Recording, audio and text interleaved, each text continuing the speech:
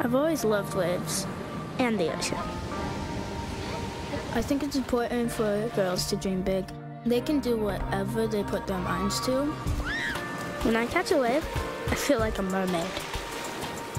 The difference between me and Ariel? She's a better swimmer, but I'm a better surfer. I'm gonna keep dreaming and hope other girls do too. Dream big with one of eight toys in your Happy Meal. Disney's The Little Mermaid, only in theaters May 26, rated PG.